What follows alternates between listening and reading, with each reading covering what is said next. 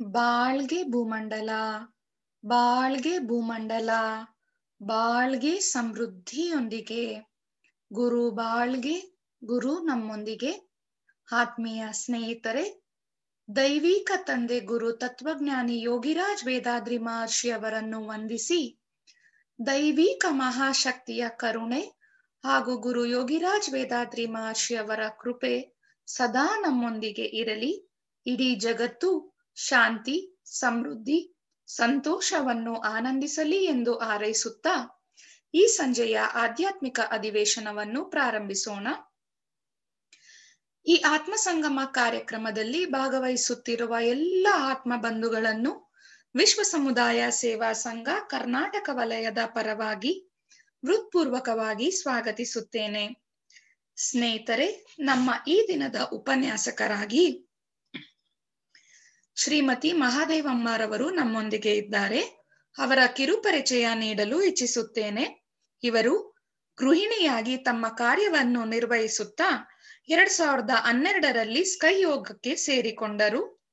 Sky ಯೋಗ ಶಿಕ್ಷಣಕ್ಕೆ ಸಂಬಂಧಿಸಿದಂತೆ ಮಾನವನ ಶ್ರೇಷ್ಠತೆಗಾಗಿ ಯೋಗ ಎಂಬ ವಿಷಯದಲ್ಲಿ ಡಿಪ್ಲೊಮೊ ಪೂರ್ಣಗೊಳಿಸಿದ್ದಾರೆ. ಇವರು ಶಿವಾನಂದ ನಗರ ಸ್ಕೈ ಸಂಸ್ಥೆಯ ಪಿಎಫ್ ಲೇಔಟ್ ಧ್ಯಾನ ಕೇಂದ್ರದಲ್ಲಿ ಈ ಆಧ್ಯಾತ್ಮಿಕ ವಿದ್ಯೆಯನ್ನು ಸ್ಕೈ ಯೋಗದ ಅಭ್ಯಾಸಗಳನ್ನು ಎಲ್ಲಾ ಜನರಿಗೂ ನೀಡುತ್ತಿದ್ದಾರೆ. ಇವರು ಸುಮಾರು ಏಳು ವರ್ಷಗಳಿಂದ ಸ್ಕೈ ಯೋಗದಲ್ಲಿ ತಮ್ಮ ಸೇವೆಯನ್ನು ಸಲ್ಲಿಸುತ್ತಿದ್ದಾರೆ. ಸ್ನೇಹಿತರೆ, ಈಗ ವಿಶ್ವ ಸಮುದಾಯ ಸೇವಾ ಸಂಘ ಕರ್ನಾಟಕ ವಲಯದ ಪರವಾಗಿ ಹಾಗೂ ನಿಮ್ಮೆಲ್ಲರ ಪರವಾಗಿ ಶ್ರೀಮತಿ ಮಹದೇವಮ್ಮರವರನ್ನು ಈ ಕಾರ್ಯಕ್ರಮಕ್ಕೆ ಸ್ವಾಗತಿಸಿ. ಏಕಾಗ್ರತೆ ಮತ್ತು ಧ್ಯಾನ. ಕಾನ್ಸಂಟ್ರೇಷನ್ ಅಂಡ್ ಮೆಡಿಟೇಷನ್ ಎಂಬ ಶೀರ್ಷಿಕೆಯ ಬಗ್ಗೆ ಚಿಂತನೆಯನ್ನು ನೀಡುವಂತೆ ವಿನಂತಿಸಿಕೊಳ್ಳುತ್ತೇನೆ. ಬಾಳ್ಗೆ ಸಮೃದ್ಧಿಯೊಂದಿಗೆ ಮೇಡಮ್ ಬಾಳ್ಗೆ ಸಮೃದ್ಧಿಯೊಂದಿಗೆ ಮೇಡಮ್ ಕೇಳಿಸುತ್ತಾ? ಹಾ ಮೇಡಮ್ ಸ್ಟಾರ್ಟ್ ಮಾಡಿ. ಬಾಳ್ಗೆ ಭೂಮಂಡಲ ಬಾಳ್ಗೆ ಭೂಮಂಡಲ ಬಾಳ್ಗೆ ಸಮೃದ್ಧಿಯೊಂದಿಗೆ ಗುರು ಬಾಳ್ಗೆ ಗುರು ನಮ್ಮೊಂದಿಗೆ. ಧ್ಯಾನ ಮೂಲೋ ಗುರುರ್ಮೂರ್ತಿ ಪೂಜಾ ಮೂಲೋ ಗುರುಪಾದ ಮಂತ್ರ ಮೂಲೋ ಗುರುಪದೇಶ. ಇಂತಹ ಗುರುಪಾದವಿಟ್ಟ ಕ್ಷೇತ್ರವೇ ಅವಿಮುಕ್ತಿ ಕ್ಷೇತ್ರ. ಈ ಕರೋನಾ ಸಮಯದಲ್ಲಿ ಲಾಕ್ಡೌನ್ ಸ್ಥಿತಿಯಲ್ಲಿ ಯೋಗ ಕ್ಲಾಸು, ಸತ್ಸಂಗ ತಪ್ಪಿತಲ್ಲ ಎಂದು ಚಿಂತಿಸುವಾಗ ಭಾಸ್ಕರನ ಕಿರಣದಂತೆ ಭವ್ಯವಾಗಿ, ಬೆಳಕಾಗಿ, ಆತ್ಮಚಿಂತನೆಗೆ ಮಾರ್ಗವಾಗಿ ಬಂದದ್ದೇ ಈ ಆತ್ಮ ಸಂಗಮ ಇದರ ರೂವಾರಿಗಳಾದ ಸ್ಮಾರ್ಟ್ ಅಧ್ಯಕ್ಷರಾದ ಧನಪತಿ ಸರ್ ಮತ್ತು ಉಪಾಧ್ಯಕ್ಷರಾದ ವಿಜಯ ಮೇಡಮ್ ರವರಿಗೆ ನನ್ನ ಅನಂತ ಅನಂತ ನಮಸ್ಕಾರಗಳು, ಧನ್ಯವಾದಗಳು. ಈ ಒಂದು ಕಾರ್ಯಕ್ರಮದ ಪೂರ್ಣತೆಗೆ ಶ್ರಮಿಸುತ್ತಿರುವ ಎಲ್ಲ ನನ್ನ ಯೋಗ ಬಂಧುಗಳಿಗೆ ವಂದನೆಗಳು. ನಮ್ಮ ಎಲ್ಲ ಯೋಗ ಗುರುಗಳಿಗೆ ಹಾಗೂ ನಮಗೆ ಯೋಗ ಕ್ಲಾಸ್ ನಡೆಸಲಿಕ್ಕೆ ರೂಮ್ ಅನ್ನು ಕೊಟ್ಟ ಬಿಬಿಎಂಪಿಯವರಿಗೂ ಧನ್ಯವಾದಗಳು. ನನಗೆ ಪ್ರೋತ್ಸಾಹ ಕೊಟ್ಟ ನನ್ನ ಕುಟುಂಬದವರಿಗೂ ಧನ್ಯವಾದಗಳನ್ನು ಅರ್ಪಿಸಿ ಈಗ ಏಕಾಗ್ರತೆ ಮತ್ತು ಧ್ಯಾನ ಎಂಬ ವಿಷಯದ ಬಗ್ಗೆ ಚಿಂತನೆ ಮಾಡೋಣ. ಸಾಮಾನ್ಯವಾಗಿ ಧ್ಯಾನಕ್ಕೆ ಕೂತರೆ ಮನಸ್ಸು ನಿಲ್ಲುವುದಿಲ್ಲ. ದೇಹ ಇಲ್ಲಿದ್ದರೂ ಮನಸ್ಸು ಎಲ್ಲೆಲ್ಲಿಯೋ ಅಲಿಯುತ್ತಿರುತ್ತದೆ. ಯಾಕೆ? ಅದನ್ನು ನಿಲ್ಲಿಸುವುದು ಹೇಗೆ? ಮೌನ ಎಂದರೇನು? ಎಂಬಿತ್ಯಾದಿ ಪ್ರಶ್ನೆಗಳು ನಮ್ಮನ್ನು ಕಾಡುತ್ತಿರುತ್ತವೆ. ಮನಸ್ಸಿಗೆ ಸುಖ, ದುಃಖ, ನೋವು ಆಗುತ್ತದೆ. ಯಾಕೆ? ಇದರ ಬಗ್ಗೆ ಸ್ವಲ್ಪ ಚಿಂತಿಸೋಣ. ಈ ಏಕಾಗ್ರತೆ ಎಂದರೇನು ಧ್ಯಾನ ಎಂದರೆ ಏನು ಎಂದು ತಿಳಿಯೋಣ. ಏಕಾಗ್ರತೆ ಎಂದರೆ ಮನಸ್ಸನ್ನು ಯಾವುದಾದರೂ ಒಂದು ವಸ್ತುವಿನ ಮೇಲೆ ಅಥವಾ ಚಿತ್ರದ ಮೇಲೆ ಅಥವಾ ನಮ್ಮ ದೇಹದ ಒಳಗಿರುವ ಚಕ್ರಗಳ ಮೇಲೆ ಮನಸ್ಸನ್ನು ಅಲುಗಾಡದಂತೆ ಸ್ಥಿರವಾಗಿ ಅರ್ಜುನನು ಮತ್ಸ್ಯಯಂತ್ರವನ್ನು ಭೇದಿಸುವಾಗ ಇಟ್ಟ ಗುರಿಯಂತೆ. ನಮ್ಮ ಮನಸ್ಸನ್ನು ಒಂದೇ ಕಡೆ ಚಲಿಸದಂತೆ, ಅಲ್ಲಾಡದಂತೆ ನಿಲ್ಲಿಸಬೇಕು. ಮನಸ್ಸು ಸುಮ್ಮನಿರಬೇಕಾದರೆ, ಸಮಾಧಾನವಾಗಿರಬೇಕಾದರೆ ಆಸನ ಸಿದ್ಧಿಯಾಗಬೇಕು. ಆಸನ ಸಿದ್ಧಿಯಾಗಬೇಕಾದರೆ ದೇಹಕ್ಕೆ ಅಭ್ಯಾಸ ಮಾಡಿಸಬೇಕು. ದೇಹ ಅಲ್ಲಾಡದಂತ ಇರಬೇಕಾದರೆ ಅವಯವಗಳಿಗೆ ನೋವಾಗದಂತೆ ಇರಬೇಕು. ಅವಯವಗಳಿಗೆ ನೋವಾಗದಂತೆ ಇರಬೇಕಾದರೆ ದೇಹದಲ್ಲಿ ಶಕ್ತಿ ಇರಬೇಕು. ದೇಹದಲ್ಲಿ ಶಕ್ತಿ ಇರಬೇಕಾದರೆ ಆಹಾರದಲ್ಲಿ ನಿಯಮಿತತನ, ಶುದ್ಧ, ಸಾತ್ವಿಕ ಆಹಾರ ಮತ್ತು ಆಹಾರ ತೆಗೆದುಕೊಳ್ಳುವಾಗಲೂ ಆಹಾರದಲ್ಲಿ ಮತ್ತು ಆಹಾರ ಸೇವನೆಯಲ್ಲಿಯೇ ಮನಸ್ಸು ಇರಬೇಕು. ಆಹಾರದ ಬಗ್ಗೆ ಆ ಪಾಠದಲ್ಲಿ ಮಹರ್ಷಿಯವರು ಹೆಚ್ಚಿನ ವಿವರ ತಿಳಿಸಿದ್ದಾರೆ. ಸ್ನೇಹಿತರೆ ಇನ್ನು ಮನಸ್ಸು ಎಂದರೆ ಏನು ಎಂದು ನೋಡೋಣ. ದೇಹದಲ್ಲಿ ಜೀವದ ಜೀವದ ಸುತ್ತೋಟದಿಂದ ಹೊರಬರುವ ಅಲೆಯೇ ವಸ್ತುವಿನ ಅಥವಾ ವ್ಯಕ್ತಿಯ ಸಂಪರ್ಕಕ್ಕೆ ಬಂದಾಗ ಮನಸ್ಸಾಗಿ ಕೆಲಸ ಮಾಡುತ್ತದೆ. ಮನಸ್ಸು ಅಂದರೆ ಅಲೆ. ಅಲೆಯುವುದು ಅದರ ಸ್ವಭಾವ. ಅದು ವಾಯು ತತ್ವದಿಂದ ಆಗಿದ್ದರಿಂದ ಅದು ಅಲೆಯುತ್ತಿರುತ್ತದೆ. ಜೀವಕಾಂತವೇ ಜೀವಿಗಳಲ್ಲಿ ಮನಸ್ಸಾಗಿ ಕಾರ್ಯ ನಡೆಸುತ್ತದೆ. ಪಂಚೇಂದ್ರಿಯಗಳ ಮೂಲಕ ಜೀವಕಾಂತವು ಕಾರ್ಯ ನಡೆಸುವಾಗ ಐದು ಗ್ರಹಿಕೆಗಳಾಗಿಯೂ ಮೆದುಳಿನ ಮೂಲಕ ನಿರ್ವಹಣೆ ಹೊಂದುವಾಗ ಐದು ಗ್ರಹಿಕೆಗಳನ್ನು ತಿಳಿಯುವ ಮನಸ್ಸಾಗಿಯೂ ಕಾರ್ಯನಿರ್ವಹಿಸುತ್ತದೆ. ಜೀವಕಾಂತ ಕ್ಷೇತ್ರದಲ್ಲಿ ಅಡಗಿರುವ ಎಲ್ಲಾ ಅನುಭವಗಳ ಒಕ್ಕೂಟವೇ ಈ ಮನಸ್ಸು. ಹಿಂದಿನ ಅನುಭವಗಳನ್ನೇ ಧ್ಯಾನಕ್ಕೆ ಕೂತಾಗ ಮನಸ್ಸು ಎತ್ತಿ ತೋರಿಸಿ ಚಂಚಲತೆಯನ್ನು ಉಂಟು ಮಾಡುತ್ತದೆ. ಇಲ್ಲವೇ ತಾಮಸಕ್ಕೆ ಕರೆದೊಯ್ಯುತ್ತದೆ. ಅಂದರೆ ನಿದ್ರೆಗೆ ಜಾರುತ್ತದೆ. ಇದನ್ನು ಅಂದರೆ ಚಂಚಲತೆಯನ್ನು ಕಡಿಮೆ ಮಾಡುವುದು ಹೇಗೆ? ಸಾಧಾರಣವಾಗಿ ನಾವು ಉದ್ವೇಗದ ನೆಲೆಯಲ್ಲಿರುತ್ತೇವೆ. ಅಂದರೆ ಬೀಟಾ ಅಲೆ. ಸೆಕೆಂಡಿಗೆ ನಲವತ್ತರಿಂದ ಹದಿನಾಲ್ಕು ಸುತ್ತು ಮನಸ್ಸಿನ ಕಂಪನದ ಅಲೆಯಲ್ಲಿ ಇರುತ್ತೇವೆ. ಆಗ ಜೀವಕಾಂತ ಶಕ್ತಿಯು ಹೆಚ್ಚು ವ್ಯಯವಾಗುತ್ತದೆ. ಧ್ಯಾನವನ್ನು ಮಾಡ್ತಾ ಮಾಡ್ತಾ ಮನಸ್ಸಿಗೆ ತರಬೇತಿಯನ್ನು ಕೊಡುತ್ತಾ ಎಚ್ಚರದ ನೆಲೆಯಲ್ಲಿ ಇದ್ದು ಅಲ್ಫಾ ಅಲೆಗೆ, ತೀಟಾ ಅಲೆಗೆ ಮನಸ್ಸನ್ನು ತರಲಿಕ್ಕೆ ಪ್ರಯತ್ನಿಸಬೇಕು. ಡೆಲ್ಟಾ ಅಲೆ ಅಂದರೆ ಸೆಕೆಂಡಿಗೆ ಮೂರರಿಂದ ಒಂದು ಸುತ್ತು ಅಲೆಗೆ ಮಹಾತ್ಮರಿಗೆ ಹೋಗಲಿಕ್ಕೆ ಸಾಧ್ಯ. ಮನಸ್ಸನ್ನು, ಇಂದ್ರಿಯಗಳನ್ನು ಗೆದ್ದವನೇ ಮಹಾತ್ಮ, ಜಿತೇಂದ್ರಿಯ ಎಂದು ಹೇಳುತ್ತಾರೆ. ಧ್ಯಾನ ಅಂದರೆ ಮನಸ್ಸಿನ ಸಮೃದ್ಧಿಯೇ ಧ್ಯಾನ. ಮನಸ್ಸನ್ನು ಸೂಕ್ಷ್ಮ ಸ್ಥಿತಿಗೆ ತೆಗೆದುಕೊಂಡು ಹೋಗುವುದೇ ಧ್ಯಾನ. ಮನಸ್ಸನ್ನು ಒಳಮುಖವಾಗಿ ತೆಗೆದುಕೊಂಡು ಹೋಗುವುದೇ ಧ್ಯಾನ. ಪ್ರಾಣದ ಮೇಲೆ ಮನಸ್ಸಿಟ್ಟು ಧ್ಯಾನ ಮಾಡುವುದೇ ಕುಂಡಲಿನಿ ಯೋಗ ಧ್ಯಾನ. ಮನಸ್ಸಿನ ಫ್ರೀಕ್ವೆನ್ಸಿ ಕಡಿಮೆ ಮಾಡಿ ಶಾಂತ ಸ್ಥಿತಿಯಲ್ಲಿಡುವುದು. ಮನಸ್ಸನ್ನು ಯಾವಾಗಲೂ ಶಾಂತ ರೀತಿಯಿಂದ ಉದ್ವೇಗವಿಲ್ಲದ ಸ್ಥಿತಿಯಲ್ಲಿರುವುದಕ್ಕೆ ಅಭ್ಯಾಸ ಮಾಡಿಸುವುದು ಅದೇ ಧ್ಯಾನ ಸ್ಥಿತಿ. ಆಂತರಿಕವಾಗಿ ಆಧ್ಯಾತ್ಮ ಶಕ್ತಿಯ ಏಳು ಕೇಂದ್ರಗಳಲ್ಲಿ ಅಥವಾ ಮನಸ್ಸನ್ನು ಭ್ರೂಮಧ್ಯದ ತ್ರಿಪುಟಿಯಲ್ಲಿ ಅಥವಾ ಹೃದಯದ ಅನಾಹತದಲ್ಲಿ ಅಥವಾ ತುರಿಯದ ಸಹಸ್ರಾರದಲ್ಲಿ ಮನಸ್ಸನ್ನು ನಿಲ್ಲಿಸಲಿಕ್ಕೆ ಪ್ರಯತ್ನಿಸಬೇಕು. ಇದನ್ನೇ ಮಹರ್ಷಿಯವರು ಎರಡು ಕಣ್ಣುಗಳು ಮೂಗಿನ ತುದಿ ಗುರಿಯಾಗಿ ನಿಲ್ಲಲು ಭಾವನೆಯನ್ನು ಭ್ರೂಮಧ್ಯ ನಿಲ್ಲಿಸಿ ಏಕಾಗ್ರತೆಯಿಂದ ಗುರುವಿನ ವಿಧಿ ನಿಯಮಗಳಿಗೆ ಅನುಗುಣವಾಗಿ ಕಲಿಯುವಾಗ ಅಂತರ್ಜ್ಯೋತಿಯು ಹೆಚ್ಚಳಗೊಂಡು ಮೂಲವಾದ ಭ್ರೂಣಕ್ಕೆ ವೇಗ ಕೂಡುತ್ತದೆ. ತತ್ವಕ್ಕೆ ಈ ಘಟನೆ ಗ್ರಹಿಕೆಯಾಗಿ ಕಾಣುವುದು. ಆ ರೂಪ ನೆಲೆಯಂತೆ ಆದಿರೂಪವಾಗಿ ಬಂದ ಅದ್ವಿತೀಯ ರಹಸ್ಯವು ವಿವರಣೆಯಾಗುವುದು ಎಂದು ತಿಳಿಸಿದ್ದಾರೆ. ಲಕ್ಷ್ಯವು ಏಕಾಗ್ರತೆಯಲ್ಲಿ ಬಹಳ ಮಹತ್ವದ ಪಾತ್ರವನ್ನು ವಹಿಸುತ್ತದೆ. ತನ್ನ ಗಮನವನ್ನು ಶಕ್ತಿಯನ್ನು, ತನ್ನ ಗಮನ ಶಕ್ತಿಯನ್ನು ಯಾರು ಅಭಿವೃದ್ಧಿಪಡಿಸಿಕೊಳ್ಳುವರೋ ಅವರಿಗೆ ಉತ್ತಮ ಏಕಾಗ್ರತೆ ಇರುತ್ತದೆ. ಲಾಲಸೆ ಮತ್ತು ಎಲ್ಲ ವಿಧದ ವಿಲಕ್ಷಣ ಆಸೆಗಳಿಂದ ತುಂಬಿದ ಮಾನವನು ಯಾವುದೇ ಒಂದು ವಿಷಯ ಅಥವಾ ವಸ್ತುವಿನ ಮೇಲೆ ಒಂದು ಕ್ಷಣ ಕೂಡ ಗಮನ ನೀಡಲು ಸಾಧ್ಯವಾಗದು. ಅವನ ಮನಸ್ಸು ಮಂಗನಂತೆ ಕುಣಿದಾಡುತ್ತಿರುತ್ತದೆ. ಇಂಥ ಮನಸ್ಸನ್ನು ವಿಕಾಸಗೊಳಿಸಲು ಅಂದರೆ ಮನಸ್ಸನ್ನು ನಿಲ್ಲಿಸಿ ಅದರ ಮೂಲ ನೆಲೆಯನ್ನು ಅರಿಯಲು ಸಹಾಯವಾಗಲೆಂದು ಗುರು ಮಹರ್ಷಿಯವರು ಮನೋವಿಕಾಸ್, ಮನೋವಿಕಾಸ ಕಲಾ ಕೇಂದ್ರವನ್ನು ಸ್ಥಾಪಿಸಿದ್ದಾರೆ. ಮನಸ್ಸೆನ್ನುವ ವಿಸ್ಮಯ ವಸ್ತು. ಇದೊಂದು ಕವಿತೆ ಮಹರ್ಷಿಯವರದು ಮನಸ್ಸೆನ್ನುವ ಕೌತುಕವದು ಜೀವಕಾಂತ ಅಲೆಯೇ. ಮಾನವನಲ್ಲಿ ಇಂದ್ರಿಯ ಗ್ರಹಿಕೆಯಲ್ಲಿಯೇ ಅದು ವೇಗ ಪಡೆದು, ಮನದ ಸುತ್ತುವಿಕೆಯು ಒಂದು ಕ್ಷಣಕ್ಕೆ ಹದಿನಾಲ್ಕರಿಂದ ಮಾರ್ಪಾಟಾಗಿ ಅನೇಕ ಸ್ಥಿತಿಯಲ್ಲಿ ನಲವತ್ತರವರೆಗೆ ಹೋಗುತ್ತದೆ.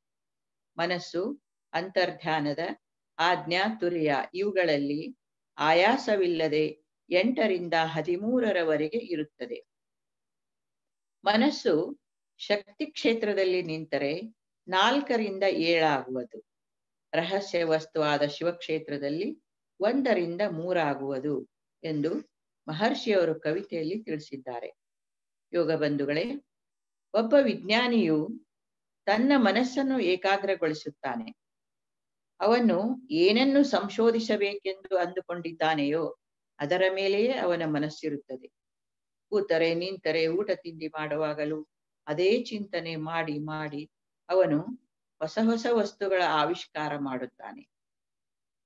ಏಕಾಗ್ರತೆಯ ಮೂಲಕ ಅವನು ಸ್ಥೂಲವಾದ ಹೊರಮನಸ್ಸಿನ ಪೊರೆಗಳನ್ನು ಕಳಚಿ ಆಳವಾಗಿ ಅದರ ಬಗ್ಗೆಯೇ ಚಿಂತಿಸಿ, ಅವನು ತನ್ನ ಎಲ್ಲಾ ಶಕ್ತಿಗಳನ್ನು ಒಂದೇ ದಿಕ್ಕಿನಲ್ಲಿ, ಒಂದೇ ಕೇಂದ್ರದಲ್ಲಿ ಕೇಂದ್ರೀಕರಿಸುತ್ತಾನೆ ಮತ್ತು ಅವುಗಳ ರಹಸ್ಯವನ್ನು ಕಂಡುಹಿಡಿಯುತ್ತಾನೆ.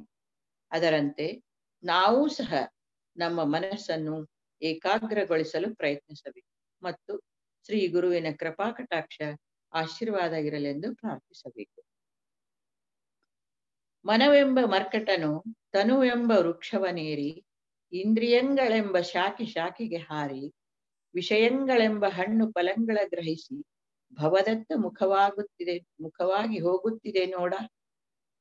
ಈ ಮನವೆಂಬ ಮರ್ಕಟನ ನಿಮ್ಮ ನೆನಹೆಂಬ ಪಾಶದಲ್ಲಿ ಕಟ್ಟಿ ಎನ್ನನ್ನು ಉಳಿ ಉಳುಹಿಕೊಳ್ಳಯ್ಯ ಅಖಂಡೇಶ್ವರ ಎಂದು ಷಣ್ಮುಖ ಶಿವಯೋಗಿಗಳು ಹೇಳುತ್ತಾರೆ. ಇನ್ನು ಶೂನ್ಯ ಚಿತ್ತದ ಬಗ್ಗೆ ನೋಡೋಣ.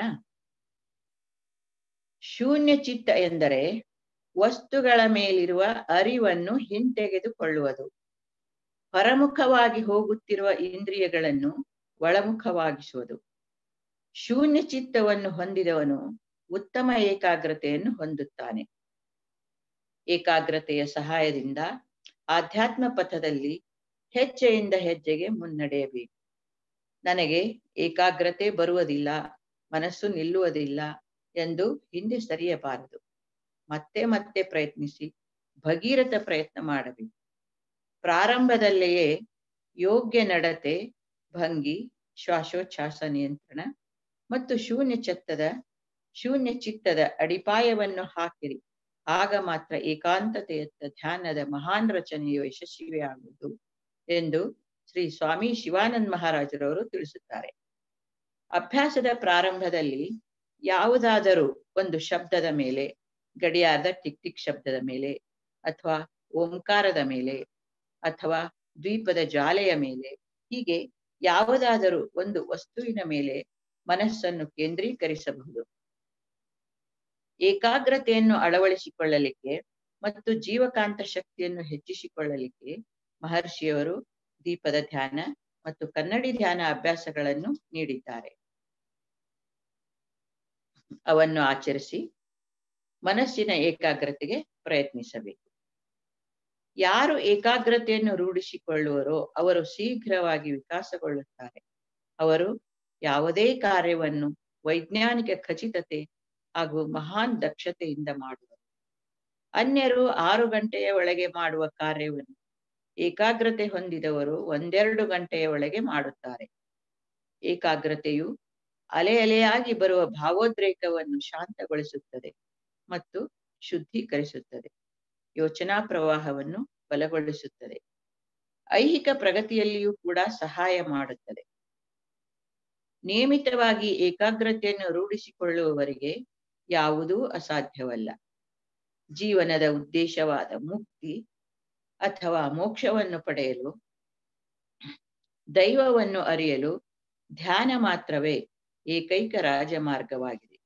ಧ್ಯಾನವು ಎಲ್ಲ ನೋವುಗಳನ್ನು, ದುಃಖಗಳನ್ನು ಮತ್ತು ಆದಿಭೌತಿಕ, ಆದಿದೈವಿಕ, ಆಧ್ಯಾತ್ಮಿಕ ತಾಪಗಳನ್ನು ಕಡಿಮೆ ಮಾಡುತ್ತದೆ. ಧ್ಯಾನವು ಏಕತ ದೃಷ್ಟಿಯನ್ನು ನೀಡುತ್ತದೆ.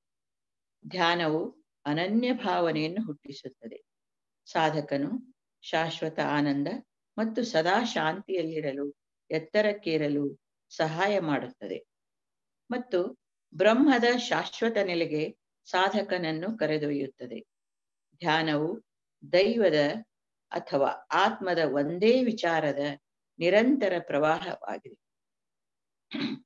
ಏಕಾಗ್ರತೆಯ ಹಿಂದೆಯೇ ಧ್ಯಾನವು ಬರುತ್ತದೆ. ಬೆಳಗಿನ ಜಾವ ಮೂರರಿಂದ ಆರು ಗಂಟೆಯವರೆಗೆ ಬ್ರಹ್ಮ ಮುಹೂರ್ತದಲ್ಲಿ ಧ್ಯಾನ ಮಾಡಲು ಅದು ಉತ್ತಮ ಸಮಯವಾಗಿದೆ. ಮಹರ್ಷಿಯವರು ತಿಳಿಸಿದಂತೆ ವಿಶ್ವಕಾಂತ ಶಕ್ತಿ ಪರಿಶುದ್ಧ ಮತ್ತು ಹೆಚ್ಚು ಶಕ್ತಿಯುತವಾದದ್ದರಿಂದ ನಮ್ಮ ಮನಸ್ಸೂ ಕೂಡ ಶಾಂತವಾಗಿರುವುದರಿಂದ ಮತ್ತು ಹೊರಗಿನ ಯಾವುದೇ ತೊಂದರೆಗಳು, ಶಬ್ದಗಳು ಇಲ್ಲದ್ದರಿಂದ ಮನಸ್ಸು ಏಕಾಗ್ರವಾಗಲು ಸಹಾಯವಾಗುತ್ತದೆ. ಪದ್ಮಾಸನ ಅಥವಾ ಸುಖಾಸನದಲ್ಲಿ ಸ್ಥಿರವಾಗಿ ಕುಳಿತುಕೊಂಡು ಶಿರ, ಕಂಠ, ಮೇರುದಂಡ, ಅಂದರೆ ಬೆನ್ನು ಮೂಳೆಯನ್ನು ನೇರವಾಗಿಸಿ ಮತ್ತು ಎರಡೂ ಭ್ರೂಮಧ್ಯದ ಸ್ಥಳ ತ್ರಿಕುಟಿಯಲ್ಲಿ ಅಥವಾ ಹೃದಯದ ಮೇಲೆ ಕಣ್ಣು ಮುಚ್ಚಿ ಮನಸ್ಸನ್ನು ಕೇಂದ್ರೀಕರಿಸಿರಿ ಎಂದು ತಿಳಿಸುತ್ತಾರೆ. ಧ್ಯಾನವು ಎರಡು ವಿಧವಾಗಿದೆ. ಸಗುಣ ಧ್ಯಾನ ಅಂದರೆ ಮೂರ್ತ ಧ್ಯಾನ ಮತ್ತು ನಿರ್ಗುಣ ಧ್ಯಾನ. ಸಗುಣ ಧ್ಯಾನದಲ್ಲಿ ಯೋಗಾಭ್ಯಾಸಿಯು ಕೃಷ್ಣ, ರಾಮ, ಶಿವ ಅಥವಾ ದೇವಿಯ ರೂಪವನ್ನು ಧ್ಯಾನಿಸುತ್ತಾನೆ. ಅಮೂರ್ತ ಧ್ಯಾನದಲ್ಲಿ ಅವನು ಸ್ವಯಂ ಆತ್ಮದ ಬಗೆಗೆ ಅಥವಾ ಚಕ್ರಗಳ ಮೇಲೆ ಧ್ಯಾನಿಸುತ್ತಾನೆ. ಓಂ ಮತ್ತು ಅದರ ಅರ್ಥವನ್ನು ಕುರಿತು ಭಾವಪೂರ್ಣವಾಗಿ ಧ್ಯಾನ ಮಾಡಿರಿ. ಇದು ನಿರ್ಗುಣ ಧ್ಯಾನ. ಓಂ ಅನ್ನು ಮಾನಸಿಕವಾಗಿ ಪುನರಾವರ್ತಿಸಿ ಆತ್ಮದೊಂದಿಗೆ ನಿಮ್ಮನ್ನು ಗುರುತಿಸಿಕೊಳ್ಳಿರಿ. ನಾನು ಸರ್ವವ್ಯಾಪಿಯಾದ ಅಮರ ಆತ್ಮನು. ನಾನು ಸಚ್ಚಿತ್ ಆನಂದ ಸ್ವರೂಪನು. ನಾನು ಶುದ್ಧವಾದ ಪ್ರಜ್ಞೆ. ನಾನು ಶರೀರ, ಮನಸ್ಸು, ಪ್ರಾಣ ಮತ್ತು ಇಂದ್ರಿಯಗಳಿಂದ ಭಿನ್ನನಾದವನು. ಇದನ್ನೇ ಶ್ರೀ ಶಂಕರಾಚಾರ್ಯರು ನಿರ್ವಾಣ ಶಕ್ತದಲ್ಲಿ ಚಿದಾನಂದ ರೂಪ ಶಿವೋಹಂ ಶಿವೋಹಂ. ಮನೋಬುದ್ಧಿ ಅಹಂಕಾರ ಚಿತ್ತಾನೀನಾಹಂ.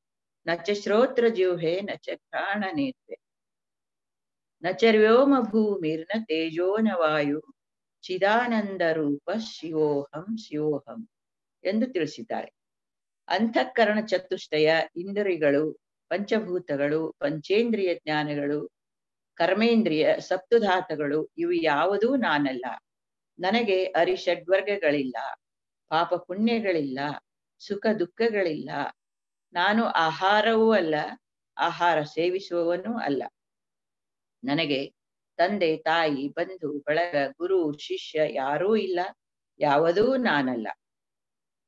ಹಾಗಾದರೆ ನಾನು ಯಾರು? ಅಹಂ ನಿರ್ವಿಕಲ್ಪಿ, ನಿರಾಕಾರ ರೂಪಿ ಅಂದರೆ ಪರಿಪೂರ್ಣನಾದ ದೈವವೇ ನಾನಾಗಿದ್ದೇನೆ ಎಂದು ತಿಳಿಸಿದ್ದಾರೆ. ದೈವದ ಅಂಶವೇ ಜೀವಾತ್ಮನಾಗಿದ್ದೇನೆ, ಆದ್ದರಿಂದ ನಾನು ಸುಖವನ್ನೇ ಬಯಸುತ್ತೇನೆ. ಆ ದೈವದ ಜೊತೆಗೆ ಇದ್ದೇನೆ. ದೈವದ ಅಂಶವೇ ನಾನಿದ್ದೇನೆ ಎಂದು ಭಾವಿಸಿರಿ. ಭಾವನೆಗೆ ಬಲವಾದ ಬಲವಿದೆ ಎಂಬುದು ಗುರುಗಳ ವಾಣಿ. ಪ್ರತಿನಿತ್ಯ ಒಂದೇ ಸಮಯದಲ್ಲಿ ನಿಯಮಿತ ಕ್ರಮಬದ್ಧ ಧ್ಯಾನವನ್ನು ಅಭ್ಯಾಸಿಸಿರಿ. ಆಗ ನೀವು ಧ್ಯಾನದ ಮನೋಭಾವವನ್ನು ಪಡೆಯುವಿರಿ. ಎಷ್ಟೆಷ್ಟು ಹೆಚ್ಚು ಏಕಾಗ್ರತೆಯಿಂದ ಧ್ಯಾನ ಮಾಡುತ್ತೀರೋ ಅಷ್ಟು ಜಿತೇಂದ್ರಿಯರಾಗುತ್ತೀರಿ. ಆಂತರಿಕ, ಆಧ್ಯಾತ್ಮಿಕ ಉನ್ನತಿಯನ್ನು ಹೆಚ್ಚಾಗಿ ಪಡೆಯುತ್ತೀರಿ. ಆತ್ಮಕ್ಕೆ ಬಹಳ ಸಮೀಪವಾಗುತ್ತೀರಿ. ಆನಂದ ಮತ್ತು ಶಾಂತಿಯ ಅನುಭವವನ್ನು ಪಡೆಯುತ್ತೀರಿ. ನಿಶ್ಚಲವಾದ, ಆಳವಾದ ಧ್ಯಾನದಿಂದ ಶುದ್ಧ ಜ್ಞಾನವು ಉದಯಿಸುತ್ತದೆ. ಶಾರೀರಿಕ ವಿಚಾರವು ಮಾಯವಾಗುತ್ತದೆ. ಅದೇ ತತ್ವಂ ಅಸಿ. ಅದುವೇ ನೀನಾಗಿದ್ದೀಯಾ ಎನ್ನುವ ಮಹಾವಾಕ್ಯವನ್ನು ಅರಿಯುತ್ತೀರಿ. ಎಲ್ಲೆಡೆಯಲ್ಲಿಯೂ, ಎಲ್ಲ ಜೀವರುಗಳಲ್ಲಿಯೂ, ಎಲ್ಲ ಜಡವಸ್ತುಗಳಲ್ಲಿಯೂ ಅಪರಿಮಿತ ಆನಂದ ಪ್ರಕಾಶಪೂರ್ಣ, ಜ್ಞಾನಪೂರ್ಣವಾದ ಆತ್ಮನನ್ನೇ ಕಾಣುತ್ತೀರಿ. ಆತ್ಮನು ಪರಮಾತ್ಮನ ಅಂಶ ಎಂದು ಅರಿವಾಗುತ್ತದೆ. ಸರ್ವಂ ಲಿಂಗಮಯಂ ಜಗತ್. ನಿಜವಾಗಿಯೂ ಇದು ಒಂದು ಅಪರೂಪದ ಆನಂದದ ಅನುಭವ. ಎಲ್ಲವೂ ನೀವೇ, ಅಂದರೆ ಆ ಪರಬ್ರಹ್ಮವೇ ಅಣುವಿನಿಂದ ಹಿಡಿದು ಆರರಿವಿನವರೆಗೆ ಅದೇ ದೈವವೇ ಎಲ್ಲವೂ ಆಗಿದೆ ಎಂದು ತತ್ವಜ್ಞಾನಿ ಮಹರ್ಷಿಯವರು ವಿವರಿಸಿದ್ದಾರೆ. ಈ ರೀತಿ ಏಕಾಗ್ರತೆಯಿಂದ ಧ್ಯಾನ ಮಾಡುವಾಗ ತಲೆಯಲ್ಲಿ ನೋವು ಬರಬಹುದು. ಯಾಕಂದರೆ ನಮ್ಮ ದೇಹಕ್ಕೆ ಅಭ್ಯಾಸವಿರುವುದಿಲ್ಲ.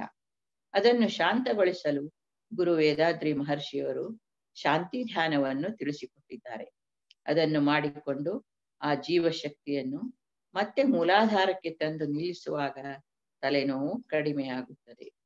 ಹೀಗೆ ಏಕಾಗ್ರತೆಯಿಂದ ಯಮ, ನಿಯಮ, ಪ್ರಾಣಾಯಾಮ, ಪ್ರತ್ಯಾಹಾರ, ಧ್ಯಾನ, ಧಾರಣಗಳನ್ನು ಚೆನ್ನಾಗಿ ಕ್ರಮಬದ್ಧವಾಗಿ ಅಭ್ಯಾಸ ಮಾಡಿ ದೈವದ ಕರುಣೆಯಿಂದ ಗುರುಗಳ ಅನುಗ್ರಹ ಕೃಪಾಕಟಾಕ್ಷದಿಂದ ಸಾಧನೆ ಮಾಡಲು ಪ್ರಯತ್ನಿಸೋಣ. ಇದು ಸಾಧ್ಯವೇ? ಕಷ್ಟವೇ, ಹೌದು. ಆದರೆ ಪರಿಶ್ರಮದಿಂದ ಸಾಧನೆ ಮಾಡಬೇಕು, ಮನಸ್ಸು ಮಾಡಬೇಕು, ಸಂಕಲ್ಪ ಮಾಡಬೇಕು. ನಾವು ಏನನ್ನು ಇಚ್ಛಿಸುತ್ತೇವೆಯೋ ಅದನ್ನು ಪೂರ್ಣ ಮನಸ್ಸಿನಿಂದ ಪ್ರಯತ್ನ ಮಾಡಬೇಕು.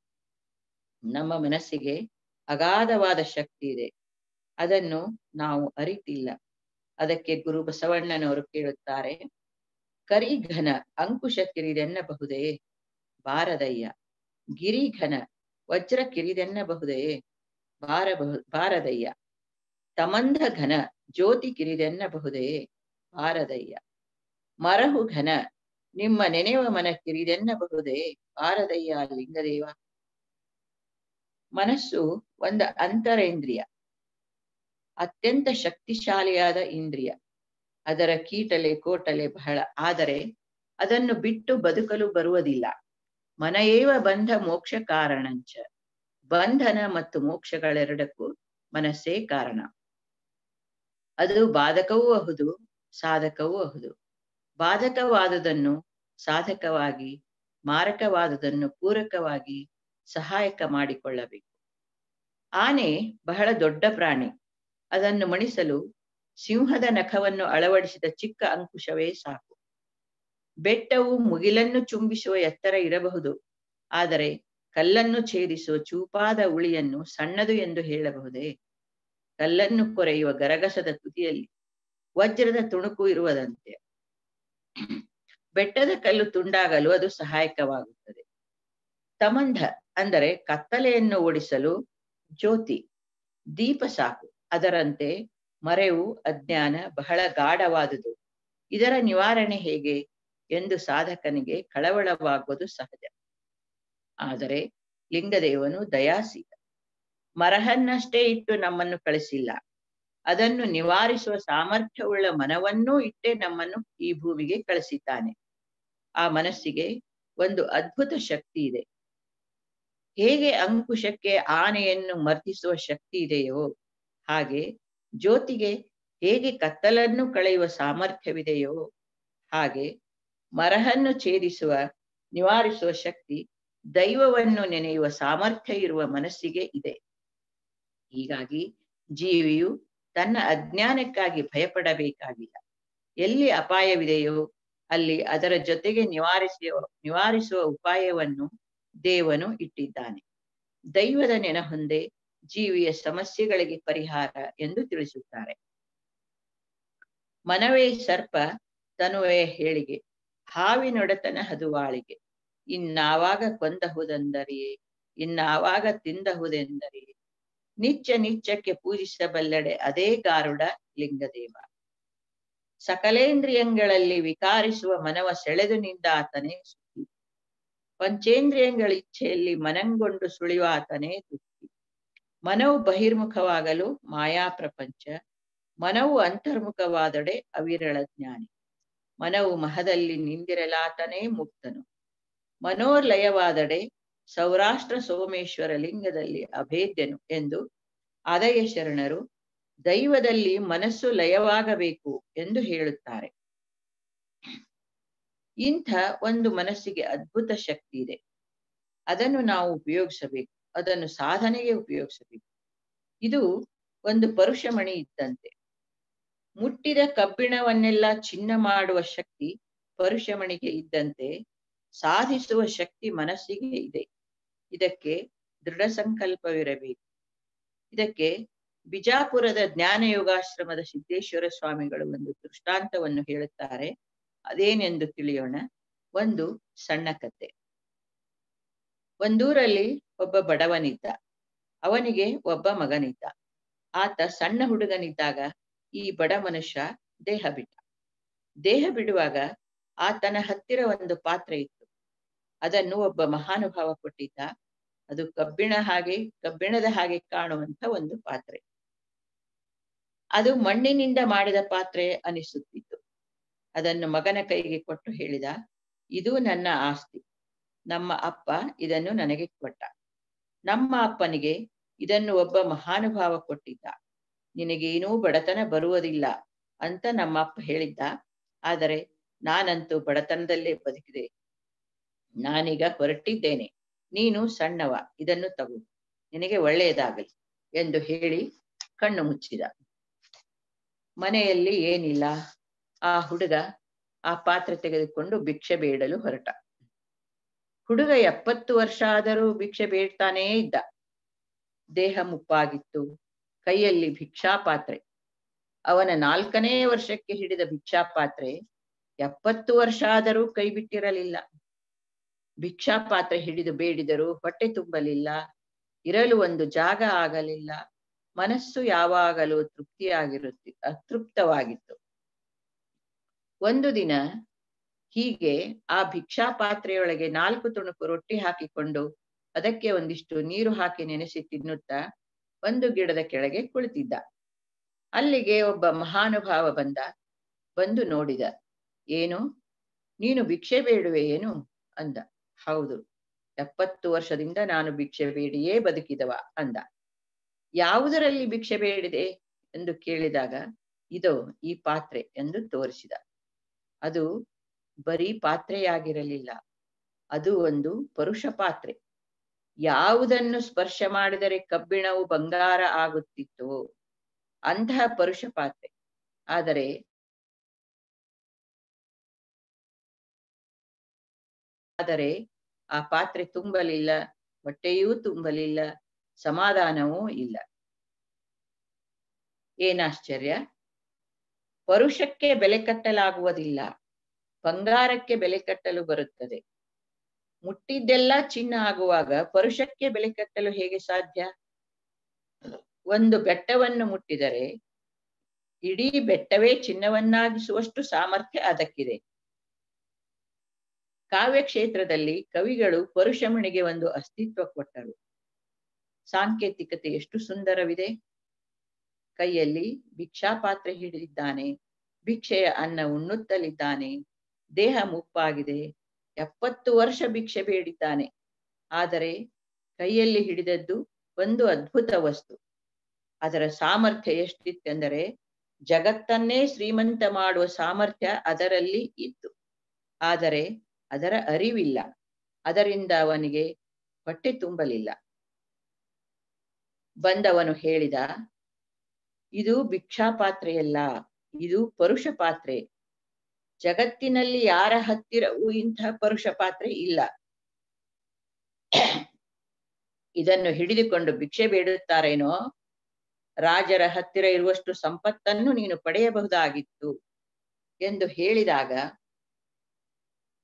ಯಾವಾಗ ಇದು ಪರುಷ ಪಾತ್ರೆ ಎಂದು ತಿಳಿಯಿತೋ, ಆಗ ಗಾಬರಿಯಾದ ಅವನ ಎದೆ ಒಡೆಯಿತು. ನನ್ನ ಎಪ್ಪತ್ತು ವರ್ಷದ ಜೀವನ ಹಾಳಾಯಿತು ಅಂದ. ಆದರೆ ಅಷ್ಟರಲ್ಲಿ ಅವನ ಪ್ರಾಣ ಪಕ್ಷಿ ಹಾರಿ ಹೋಗಿತ್ತು. ನಮ್ಮದೂ ಅಷ್ಟೇ. ಪರುಷ ಪಾತ್ರೆ ಈ ಜಗತ್ತಿನಲ್ಲಿ ಇದೆಯೋ ಇಲ್ಲವೋ ಗೊತ್ತಿಲ್ಲ. ಆದರೆ ನಮ್ಮ ಮನಸ್ಸೇ ಒಂದು ಪರುಷ ಪಾತ್ರೆ. ಅದರೊಳಗೆ ನಾವು ಆಸೆಯ ತುಣುಕು ಹಾಕಿದ್ದೇವೆ, ರೊಟ್ಟೆಯ ತುಣುಕು ಹಾಕಿದ್ದೇವೆ.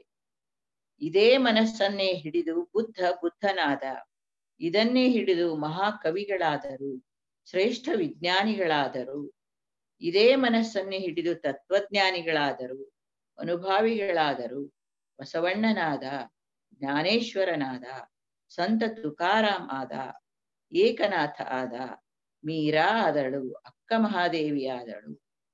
ಅಂಥದೇ ಮನಸ್ಸೆನ್ನುವ ಪರುಷ ಪಾತ್ರೆಯನ್ನು ಹಿಡಿದು ನಾವು ಭಿಕ್ಷೆ ಬೇಡಲು ತೊಡಗಿದ್ದೇವೆ. ಅದರರ್ಥ ಮನಸ್ಸಿನಲ್ಲಿ ಅದು ಬೇಕು, ಇದು ಬೇಕು, ಇನ್ನೂ ಬೇಕು ಇನ್ನಷ್ಟು ಬೇಕು ಎಂಬ ಅತಿ ಆಸೆಗಳನ್ನು ತುಂಬಿಕೊಂಡಿದ್ದೇವೆ. ಅದು ಗೊತ್ತಾಗಲಿಲ್ಲ ನಮಗೆ. ಈ ಮನಸ್ಸೇ ಒಂದು ಅದ್ಭುತ ಸಂಪತ್ತು ಎಂದು. ಗೊತ್ತಾಗಲಾರದ ಕಾರಣ ಮನಸ್ಸಿನ ಅತಿ ಆಸೆಗಳನ್ನು ಪೂರೈಸಲು ನಾವು ಹೊರಟು ಬಿಟ್ಟಿದ್ದೇವೆ ಸಾಮಾನ್ಯ ಆಸೆ ಪೂರೈಸುವುದು ಬೇರೆ. ಅವಶ್ಯಕತೆಗೆ ಬೇಕಾದದ್ದು ಆಹಾರ, ವಸತಿ, ರಕ್ಷಣೆ, ಪ್ರೀತಿಗಾಗಿ ಸುತ್ತಮುತ್ತ ಸಮಾಜ ಸಮಾ ಆರಾಮವಾಗಿರಲು ಸಣ್ಣ ಪುಟ್ಟ ವಸ್ತುಗಳು. ಅವಶ್ಯಕತೆಗೆ ಬೇಕಾದಷ್ಟು ವಿದ್ಯೆ. ಇವೆಲ್ಲ ಅವಶ್ಯಕತೆಗಳು ಬದುಕಿಗೆ ಬೇಕು. ಆದರೆ ಏನು ಮಾಡುವುದು? ಭಿಕ್ಷಾಪಾತ್ರ ಹಿಡಿದಿದ್ದೇವೆ.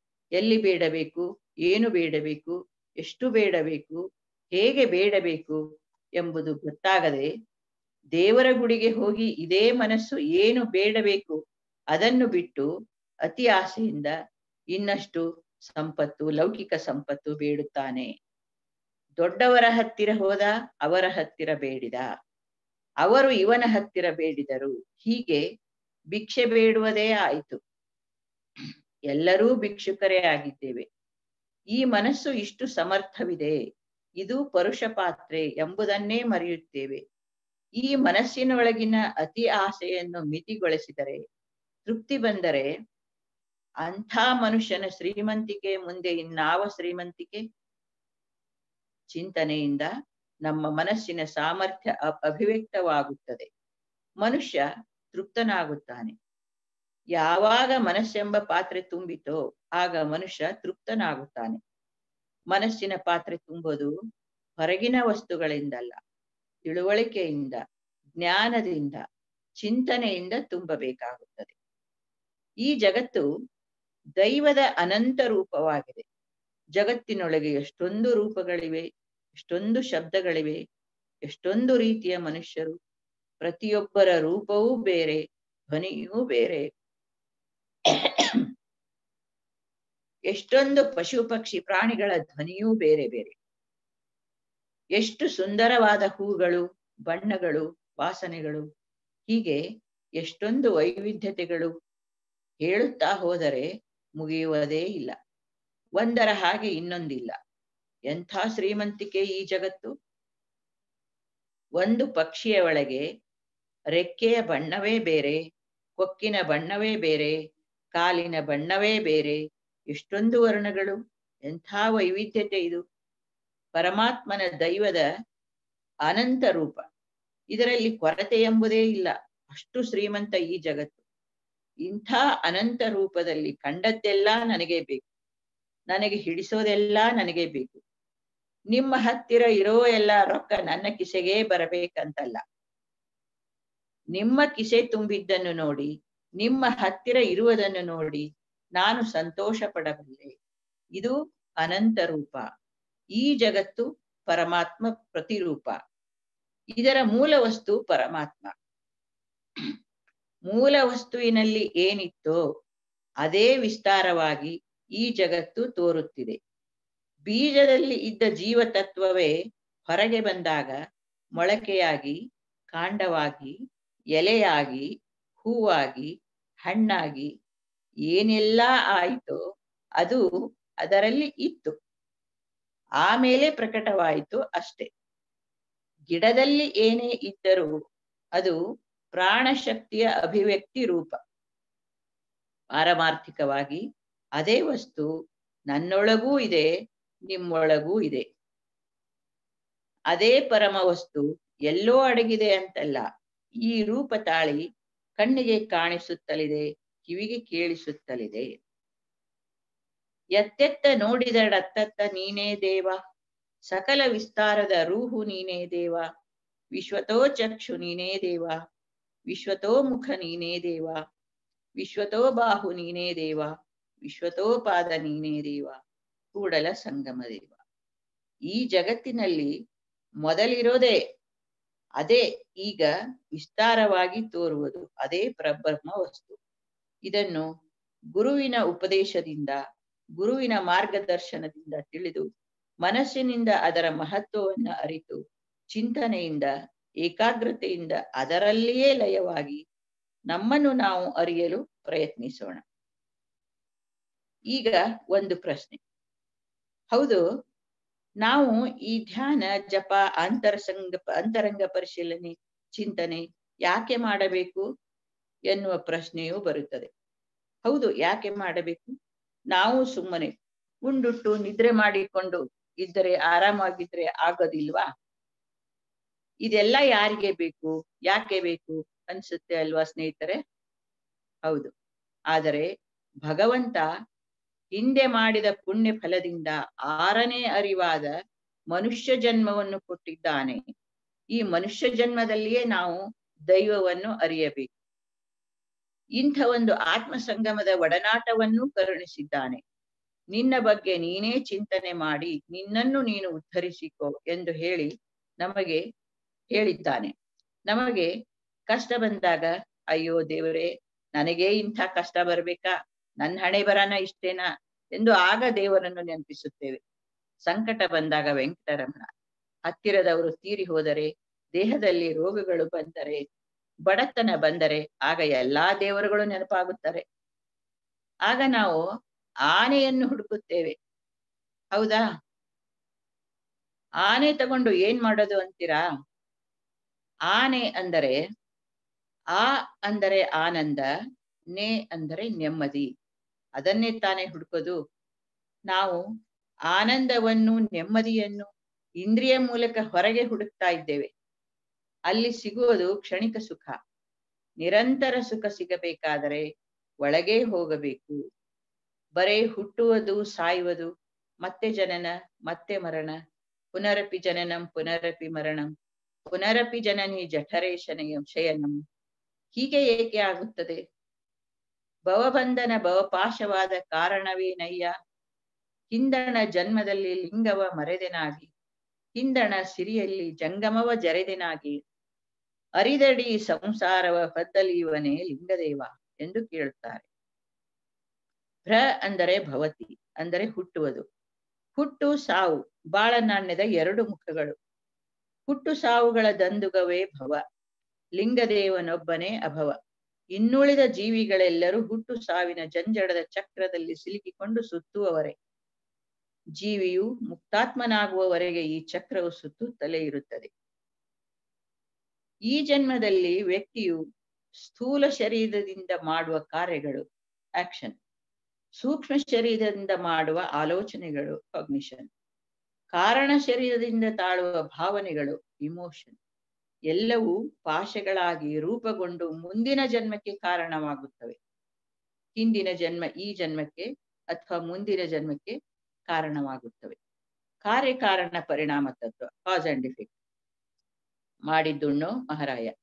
ಈ ಸಂಬಂಧದ ಮೇಲೆ ಈ ಜಗತ್ತಿನ ಮತ್ತು ಜೀವಾತ್ಮನ ಚಟುವಟಿಕೆಗಳು ನಡೆಯುತ್ತವೆ. ಧರ್ಮವಿತ ಬಸ ಧರ್ಮ, ಧರ್ಮಪಿತ ಬಸವಣ್ಣನವರು ಈ ಭವಬಂಧನಕ್ಕೆ ಎರಡು ಕಾರಣಗಳನ್ನು ಗುರುತಿಸುತ್ತಾರೆ. ಒಂದು, ದೈವವನ್ನು ಮರೆತುದು, ಇನ್ನೊಂದು, ಸಮಾಜವನ್ನು ಕಡೆಗಣಿಸುತ್ತದು, ಕಡೆಗಣಿಸಿದುದು. ಈ ಜಗತ್ತನ್ನು ನಿರ್ಮಿಸಿ ಮಾನವ ಜೀವಿಗೆ ಎಲ್ಲ ಅವಶ್ಯಕತೆಗಳನ್ನು ಸೃಷ್ಟಿ ಮಾಡಿ ಆಮೇಲೆ ಮಾನವನ್ನು ಸೃಷ್ಟಿಸಿದ ಸೃಷ್ಟಿಕರ್ತನ ಬಗ್ಗೆ ಕೃತಜ್ಞತೆ ತಾಳುವುದು, ತಾಳದೆ ಬದುಕುವುದು ಮುಂದಿನ ಭವಕ್ಕೆ ಕಾರಣ. ದೇವನು ಮಹಾದಾನಿ.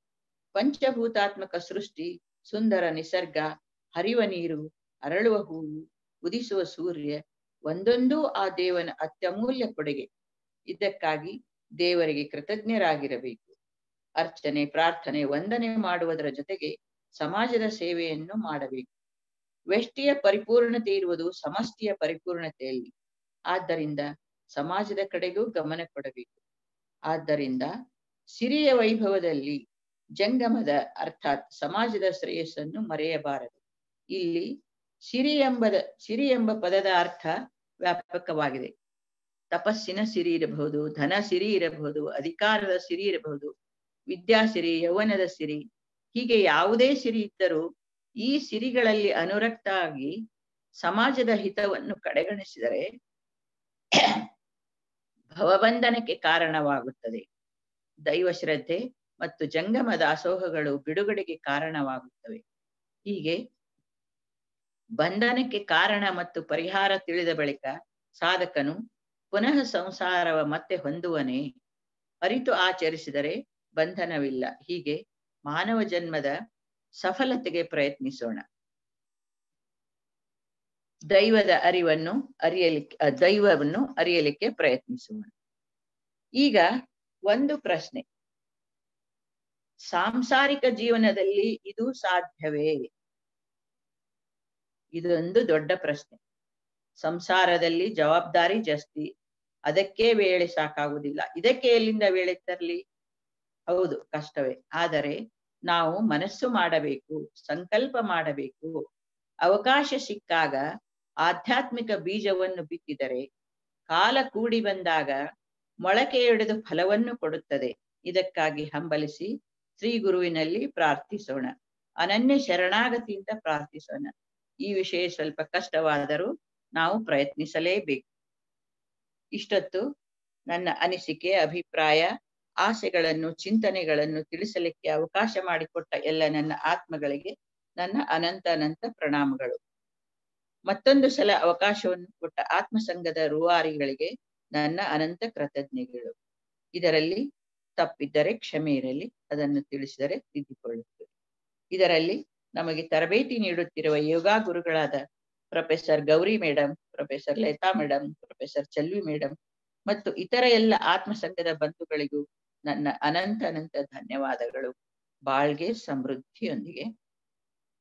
ಎಲ್ಲರೂ ದೇಹ, ಆರೋಗ್ಯ, ದೀರ್ಘಾಯುಷು, ಸಾಕಷ್ಟು ಐಶ್ವರ್ಯ, ಉನ್ನತ ಕೀರ್ತಿ ಸತ್ಯ ಜ್ಞಾನ ಪಡೆದು ಉನ್ನತವಾಗಿ ಬಾಳುವಂತಾಗಲಿ. ಬಾಳ್ಗೆ ಸಮೃದ್ಧಿಯೊಂದಿಗೆ ಶರಣು ಶರಣಾರ್ಥಿ ಬಾಳ್ಗೆ ಸಮೃದ್ಧಿಯೊಂದಿಗೆ ಮೇಡಮ್ ಬಾಳ್ಗೆ ಸಮೃದ್ಧಿಯೊಂದಿಗೆ madam thank you very much madam ಬಾಳ್ಗೆ ಸಮೃದ್ಧಿಯೊಂದಿಗೆ. ಬಾಳ್ಗೆ ಸಮೃದ್ಧಿಯೊಂದಿಗೆ. ಈ ದಿನದ ಆಧ್ಯಾತ್ಮಿಕ ಚಿಂತನೆಯನ್ನು ನಡೆಸಿಕೊಟ್ಟ ಶ್ರೀಮತಿ ಮಹಾದೇವಮ್ಮರವರಿಗೆ ಧನ್ಯವಾದಗಳು. ಸ್ನೇಹಿತರೆ ಈಗ ಪ್ರಶ್ನೋತ್ತರ ಸಮಯ. ಯಾರಿಗಾದ್ರೂ ಇವತ್ತಿನ ವಿಷಯದ ಬಗ್ಗೆ ಪ್ರಶ್ನೆಗಳು ಕೇಳೋದಿದ್ರೆ ರೇಸ್ ಆನ್ ಬಟನ್ ಕ್ಲಿಕ್ ಮಾಡಿ ಪ್ರಶ್ನೆಗಳನ್ನ ಕೇಳಿ. ನೀವು ಪ್ರಶ್ನೆಗಳನ್ನ ಕೇಳಕ್ ಮುಂಚೆ ಒಂದು ಪ್ರಮುಖವಾದ ಸೂಚನೆ ಸ್ನೇಹಿತರೆ, ವಿಶ್ವ ಸಮುದಾಯ ಸೇವಾ ಸಂಘ ಕರ್ನಾಟಕ ವಲಯ ಮತ್ತು ವಿಶ್ವ ಸಮುದಾಯ ಸೇವಾ ಸಂಘ ವಿಷನ್ ಫಾರ್ ವಿಸ್ಡಮ್ ಆಳಿಯಾರ್ ಆಯೋಜಿಸಿರುವ SKY yoga online foundation course ಪ್ರಾಥಮಿಕ ತರಗತಿಗಳು ಈಗ ಕನ್ನಡ ಭಾಷೆಯಲ್ಲಿ ಆರಂಭವಾಗಿದೆ. ಕೊರೋನಾ ಎಂಬ ಸಾಂಕ್ರಾಮಿಕ ಕಾಲದಲ್ಲಿ ನಮ್ಮ ಮನೋಶಕ್ತಿಯನ್ನು ಹಾಗೂ ರೋಗ ನಿರೋಧಕ ಶಕ್ತಿಯನ್ನು ಹೆಚ್ಚಿಸಿಕೊಳ್ಳಲು ಈ ಸ್ಕೈ ಯೋಗದ ಪ್ರಾಥಮಿಕ ತರಗತಿಗಳನ್ನು ಆನ್ಲೈನ್ನಲ್ಲಿ ನಮ್ಮ ನಮ್ಮ ಮನೆಗಳಿಂದಲೇ ಕಲಿಯಲು ಇದೊಂದು ಅತ್ಯುತ್ತಮ ಅವಕಾಶ, ಸ್ನೇಹಿತರೆ. ಅದಲ್ಲದೆ ಶಾಲಾ ಕಾಲೇಜುಗಳು ತೆರೆಯದೆ ಇರುವ ಈ ಕಾಲದಲ್ಲಿ ಮಕ್ಕಳು ಸದ್ಗುಣಗಳನ್ನು ಬೆಳೆಸಿಕೊಂಡು ಆರೋಗ್ಯವನ್ನು ಕಾಪಾಡಿಕೊಂಡು ಪರೀಕ್ಷೆಗಳನ್ನು ಧೈರ್ಯವಾಗಿ ಎದುರಿಸಲು ಇದು ಒಂದು ಸದಾವಕಾಶ ಸ್ನೇಹಿತರೆ. ವಿಷನ್ ಫಾರ್ ವಿಸ್ಡಮ್ ರವರು ವಿದ್ಯಾರ್ಥಿಗಳಿಗಾಗಿ ಈ ಆನ್ಲೈನ್ ಫೌಂಡೇಶನ್ ಕೋರ್ಸ್ ಅನ್ನು ಕಡಿಮೆ ದರದಲ್ಲಿ ನಡೆಸುತ್ತಿದ್ದಾರೆ. ಇದಲ್ಲದೆ ಆರೋಗ್ಯವಾಗಿರುವವರು ಕೂಡ ರೋಗಮುಕ್ತ ಜೀವನವನ್ನು ಪಡೆಯಲು ಈ ಅಭ್ಯಾಸಗಳು ಉಪಯುಕ್ತವಾಗಿರುತ್ತದೆ. ಆದ್ದರಿಂದ ಸ್ನೇಹಿತರೆ ಸ್ಕೈ ಯೋಗದ ಅಭ್ಯಾಸಗಳನ್ನು ಕಲಿಯಲು ನಿಮ್ಮ ಎಲ್ಲ ಸ್ನೇಹಿತರು ಸಂಬಂಧಿಕರು ಹಾಗೂ ನೆರೆ ಹೊರೆಯವರನ್ನು ಪ್ರೋತ್ಸಾಹಿಸಬೇಕಾಗಿ ವಿಶ್ವ ಸಮುದಾಯ ಸೇವಾ ಸಂಘ ಕರ್ನಾಟಕ ವಲಯದ ಪರವಾಗಿ ವಿನಂತಿಸಿಕೊಳ್ಳುತ್ತೇವೆ. ಈ ಸ್ಕೈ ಯೋಗದ ಪ್ರಾಥಮಿಕ ತರಗತಿಗಳನ್ನು ಕಲಿಯಲು ಆಸಕ್ತಿ ಉಳ್ಳವರು W W W dot kundalini yoga dot edu dot in ಎಂಬ ವೆಬ್ಸೈಟ್ಗೆ ಭೇಟಿ ನೀಡಿ ತಮ್ಮ ಹೆಸರನ್ನು ನೋಂದಾಯಿಸಿಕೊಳ್ಳಬೇಕಾಗಿ ವಿನಂತಿ. ಧನ್ಯವಾದಗಳು ಸ್ನೇಹಿತರೆ. ಯಾರಿಗಾದ್ರೂ ಇವತ್ತಿನ ವಿಷಯದ ಬಗ್ಗೆ ಪ್ರಶ್ನೆಗಳು ಕೇಳೋದಿದ್ರೆ ರೇಸ್ ಅಂಡ್ ಬಟನ್ ಕ್ಲಿಕ್ ಮಾಡಿ ಮಾತಾಡ್ಬೋದು. ಸುಜಾತ ಮೇಡಮ್ ಅನ್ಮ್ಯೂಟ್ ಮಾಡ್ಕೊಂಡು ಮಾತಾಡಿ. ಬಾಳ್ಗೆ ಸಮೃದ್ಧಿಯೊಂದಿಗೆ ಅಮ್ಮ ಬಾಳ್ಗೆ ಸಮೃದ್ಧಿಯೊಂದಿಗೆ ಮಾ ಹೇಳಿ. ತುಂಬಾ ತುಂಬಾ ಚೆನ್ನಾಗಿ ತಿಳಿಸ್ಕೊಟ್ಟಿದ್ದೀರಾ. ಡೌಟ್ಸ್ ಏನಿಲ್ಲ. ಚಿಂತನೆ ತುಂಬಾನೇ ಚೆನ್ನಾಗಿತ್ತು. ತುಂಬಾ ಖುಷಿ ಆಯ್ತು. ಚಿಂತನೆ ಕೇಳಿ. ಎಲ್ಲ ಗುರು ಅನುಗ್ರಹ ಟೀಚರ್ಸ್ ಟ್ರೈನಿಂಗ್ ಥ್ಯಾಂಕ್ಸ್ ಮೇಡಮ್ ಬಾಳ್ಗೆ ಬಾಳ್ಗೆ ಸಮೃದ್ಧಿ ಬಾಳ್ಗೆ ಸಮೃದ್ಧಿ ಬಾಳ್ಗೆ ಸಮೃದ್ಧಿಯೊಂದಿಗೆ ಮೇಡಮ್ ಮೇಡಮ್ ಇನ್ಯಾರು ಹ್ಯಾಂಡ್ಸ್ ರೇಸ್ ಮಾಡಿಲ್ಲ? ಮುಗಿಸ್ಕೊಳ್ಳೋಣ ಮೇಡಮ್ ಮೇಡಮ್ ಓಕೆ ಬಾಳ್ಗೆ ಸಮೃದ್ಧಿಯೊಂದಿಗೆ ಮೇಡಮ್ ಬಾಳ್ಗೆ ಸಮೃದ್ಧಿಯೊಂದಿಗೆ ಮೇಡಮ್ ಸ್ನೇಹಿತರೆ, ಈ ದಿನದ ಚಿಂತನೆಯನ್ನು ನಡೆಸಿಕೊಟ್ಟ ಶ್ರೀಮತಿ ಮಹದೇವಮ್ಮರವರನ್ನು ಹಾರೈಸುವ ಸಮಯ. ಎಲ್ಲರೂ ಮನಸ್ಸನ್ನು ತುರಿಯಂನಲ್ಲಿ ಕೇಂದ್ರೀಕರಿಸಿ ಅವರನ್ನು ಮನಪೂರ್ವಕವಾಗಿ ಹಾರೈಸೋಣ. ಶ್ರೀಮತಿ ಮಹಾದೇವಮ್ಮ ಅವರು ಮತ್ತು ಅವರ ಕುಟುಂಬ ಬಾಳ್ಗೆ ಸಮೃದ್ಧಿಯೊಂದಿಗೆ, ಅವರ ದೇಹ ಆರೋಗ್ಯ ಬಾಳ್ಗೆ ಸಮೃದ್ಧಿಯೊಂದಿಗೆ ಅವರ ಆಧ್ಯಾತ್ಮಿಕ ಸೇವೆ ಹೀಗೆ ನಿರಂತರವಾಗಿ ನಡೆಯಲಿ ಅಂತ ಹಾರೈಸೋಣ.